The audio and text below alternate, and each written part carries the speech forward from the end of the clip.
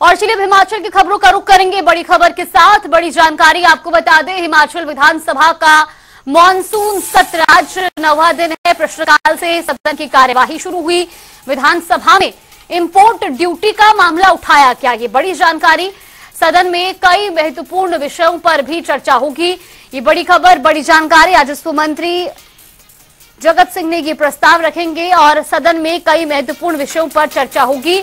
विधानसभा में import duty का मामला भी दरअसल उठाया गया है। ये बड़ी खबर आपको बता रहे हैं। हिमाचल विधानसभा मॉनसून सत्र का आज नौवा दिन है और आज प्रश्नकाल से शुरू होगी सदन की कार्यवाही। अब राजस्व मंत्री जगत सिंह नेगी प्रस्ताव रखेंगे और सदन में कई महत्वपूर्ण विषयों पर चर्चा भी होगी।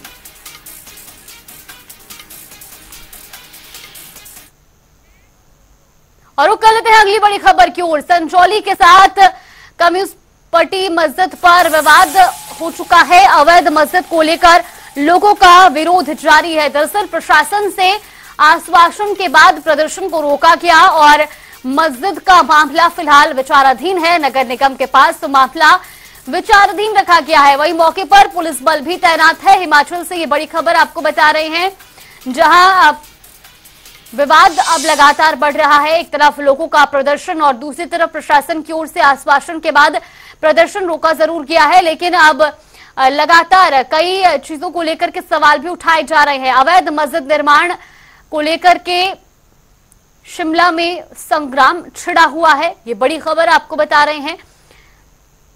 बीजेपी की ओर से इसको लेकर हल्ला बोल भी किया गया है। हम सिर्फ़ प्रशासन से यही निवेदन रहेगा कि हमें इस जो अवैध निर्माण की है, जो इसकी पूर्ण जो है जानकारी दी जाए पूर्ण इसकी जो जाँच हो और जो भी यहाँ पर लोग आते हैं, उनकी, उनको आइडेंटिफाई किया जाए।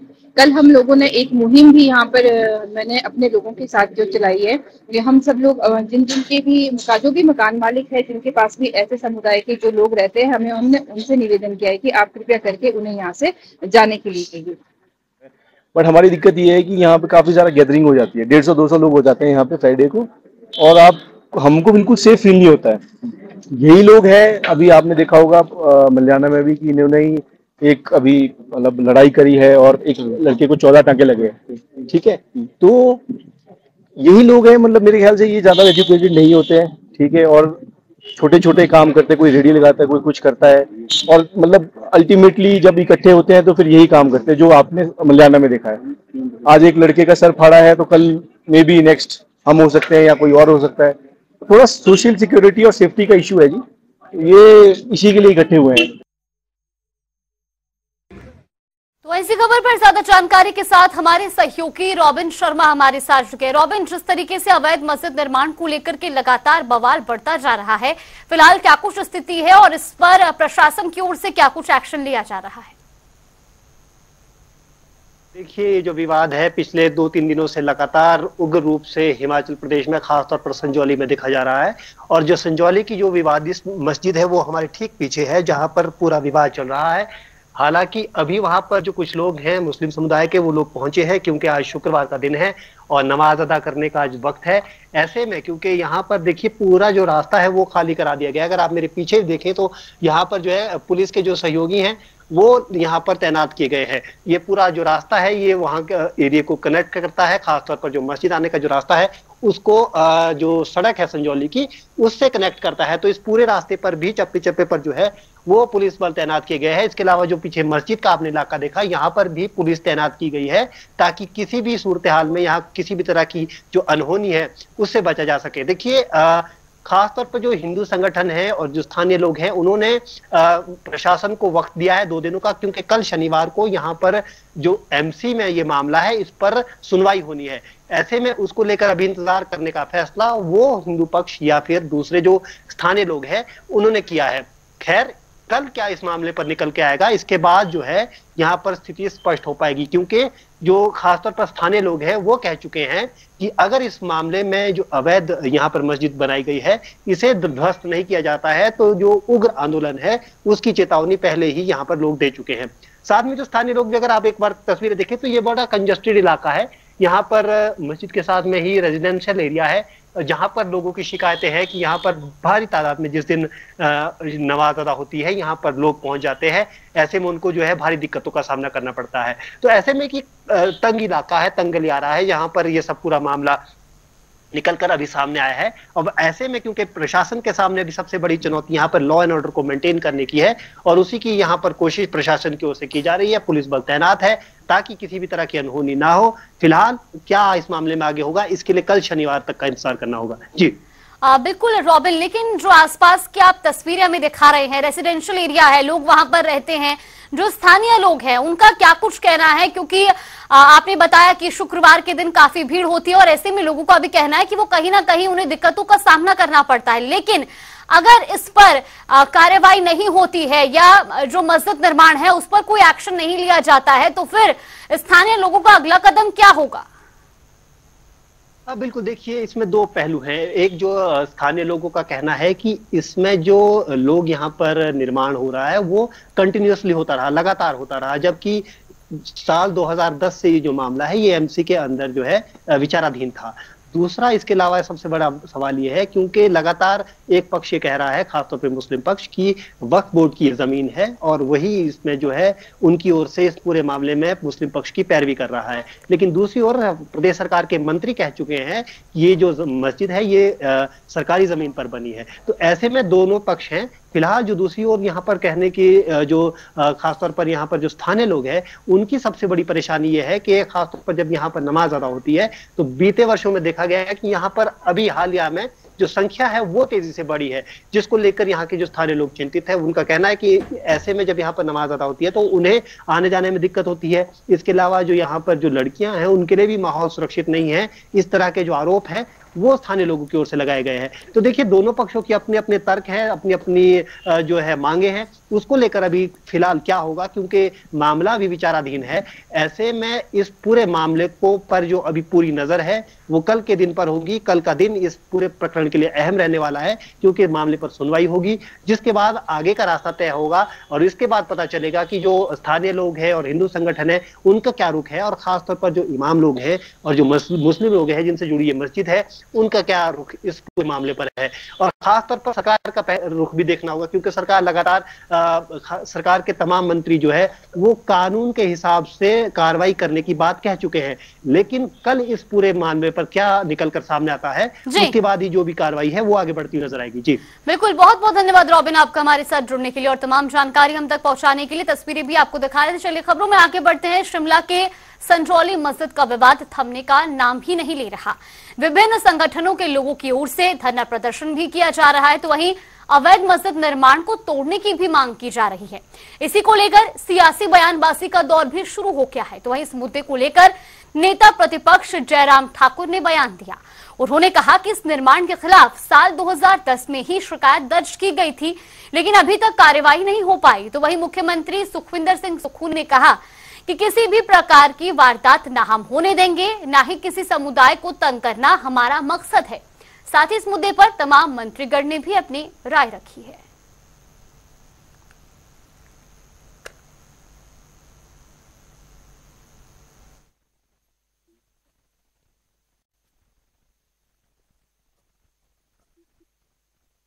अब तो मैं राहुल गांधी से मांग करता हूँ कि विधानसभा के अंदर आपके मंत्री कह रहे हैं, जब हम लोग एनआरसी की बात करते हैं तो आप उसका विरोध करते।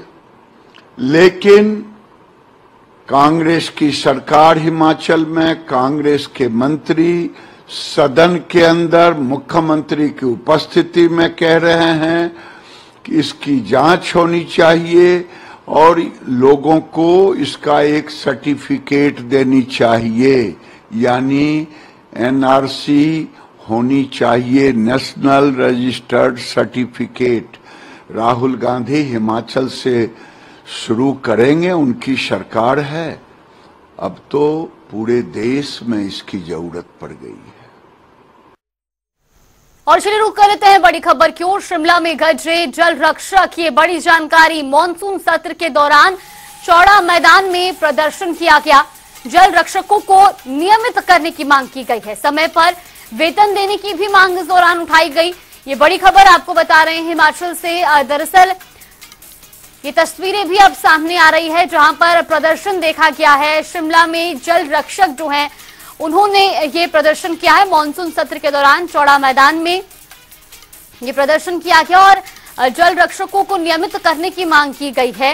ये तस्वीरें भी आपको दिखा रहे हैं चौड़ा मैदान की, जहाँ पर प्रदर्शन कर अपना रोष ज़ाहिर करते हुए नज़र आए और मांग की गई है कि नियमित जल रक्षकों को किया जाए और साथ ही साथ वेतन को लेकर के भी यहाँ पर आवाज़ उठाई गई है। समय पर वेतन देने की मांग की गई है। ये तस्वीरें आपको दिखा रहे हैं चौड़ा मैदान की, जहाँ पर जल रक्षकों ने प्रदर्शन किया है। मानसून सत्र के दौरान चौड़ा मैदान पर ये प्रदर्शन किया गया और कई मांगे इस दौरान उनकी ओर से की गई है खासतौर पर समय पर वेतन देने की मांग और जल रक्षकों को नियमित करने की मांग की गई है। ये बड़ी खबर बड़ी जानकारी।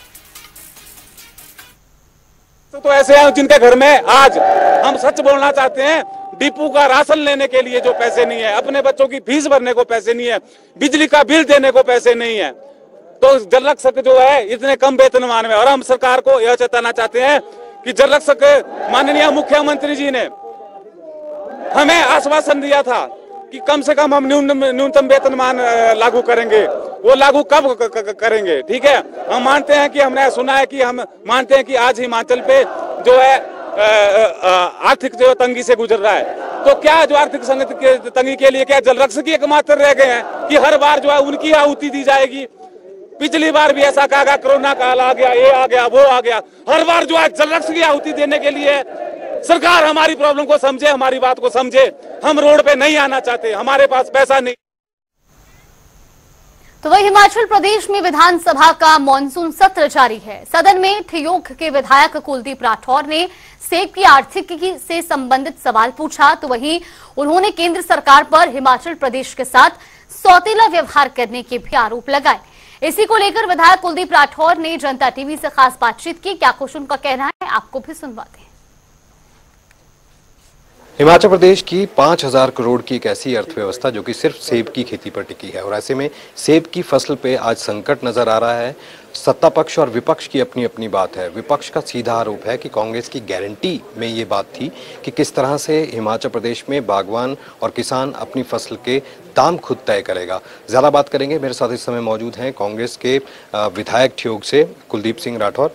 राठौर साहब, आज ये भी सवाल उठा कि कांग्रेस की गारंटियाँ, जिनमें ज़िक्र था कि ये बागवानी के जो किसान और बागवान होंगे, अपनी फ़सल के रेट खुद तय कर पाएँगे। लेकिन इससे इतर एक बात और ये भी है कि गढ़ के हिसाब से और दर के हिसाब से सेब की फ़सल जो है, वो किस तरह से इसके अंदर डिफरेंस रहता है, बेची जा रही है और आड़ती जो है, अपनी मनमानी अंदर करते हैं। आपने सवाल रखा, बहुत ही महत्वपूर्ण सवाल था। क्या सवाल था?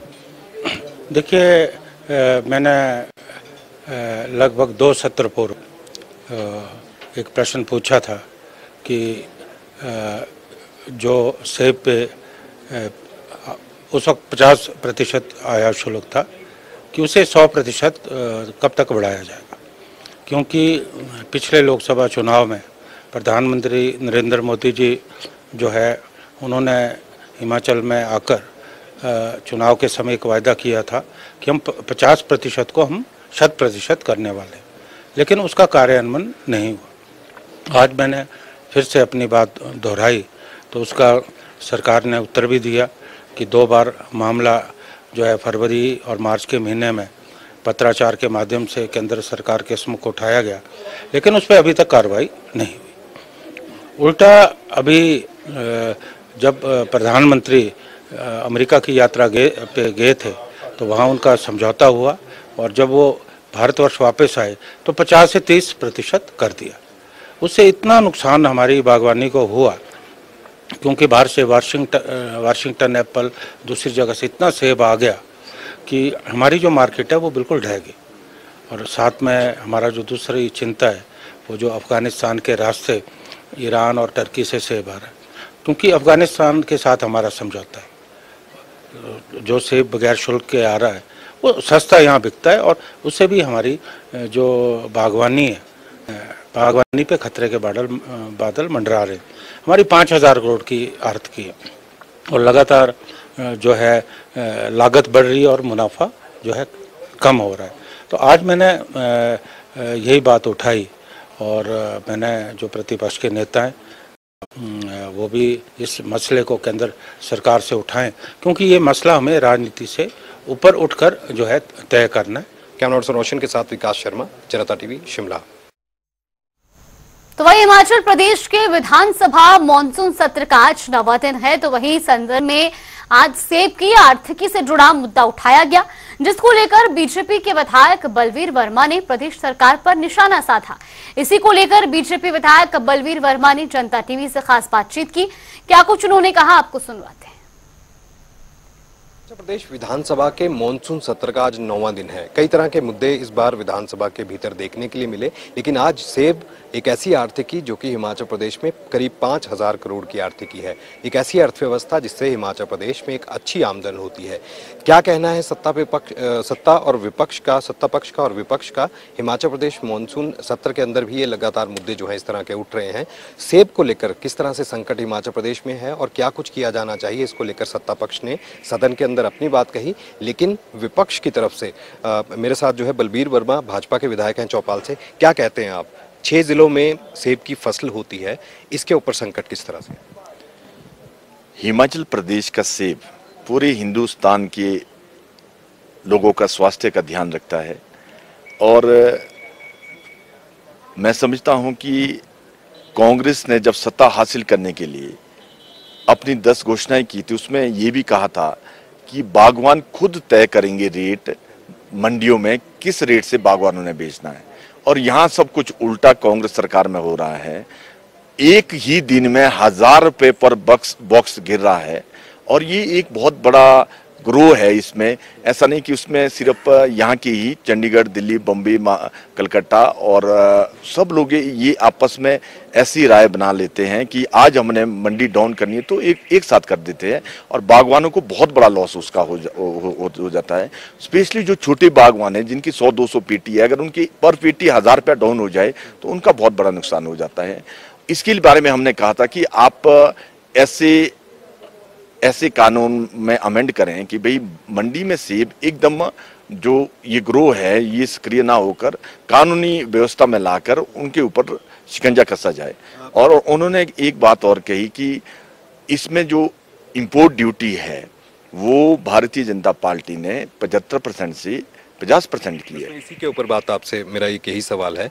अ, सत्ता पक्ष का ये कहना है यानी कांग्रेस का ये कहना है कि प्रधानमंत्री जब हिमाचल आते हैं चुनावी रैलियों के दौरान बड़े बड़े वायदे करते हैं सेब के ऊपर जो आयात शुल्क है उसे सौ फ़ीसदी किया जाएगा। लेकिन वो तो घटा दिया जा रहा है तो क्या हिमाचल की बात नहीं सुनी जा रही है? हिमाचल को तो अपना दूसरा घर कहते हैं इस तरह का आरोप है कांग्रेस का ये जो 50 से 75 परसेंट किया था ये स्वर्गीय श्री अटल बिहारी वाजपेयी गवर्नमेंट में हुआ था। कांग्रेस 2004 में देश के अंदर आई और 2008 में आनंद शर्मा जी, जो हिमाचल प्रदेश के रहने वाले हैं एप्पल बेल्ट को बहुत अच्छी तरह जानते हैं, उन्होंने इसको 50 से 75 परसेंट किया था। उसमें टीडी जो साइन साइन किए थे उन- उन्होंने, उसकी वजह से बहुत दिक्कत आई। जब हमने इसको दोबारा, हमारी गवर्नमेंट आई, हमने इसको दोबारा पचहत्तर परसेंट किया। पर इंटरनेशनल लेवल पर इसका बहुत विरोध हुआ और उन्होंने जो कहा कि आपने पहले ये साइन किए हुए हैं, अब इसको आप चेंज नहीं कर सकते और इंपोर्ट ड्यूटी को आप फ्रूट में पचहत्तर परसेंट नहीं कर सकते। ये इंटरनेशनल लेवल में डिसाइड हुआ है कंट्री वाइज नहीं वर्ल्ड लेवल के इसमें डिसाइड हुआ है।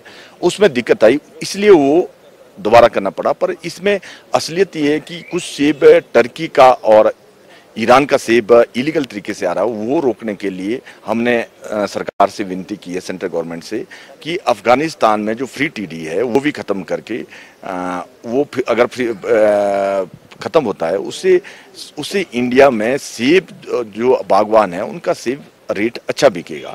कैमरा रोशन के साथ विकास शर्मा जनता टीवी शिमला। चलिए अपना हिमाचल में फ़िलहाल के लिए बस इतना ही यहाँ पे देखते रहिए आप जनता टीवी।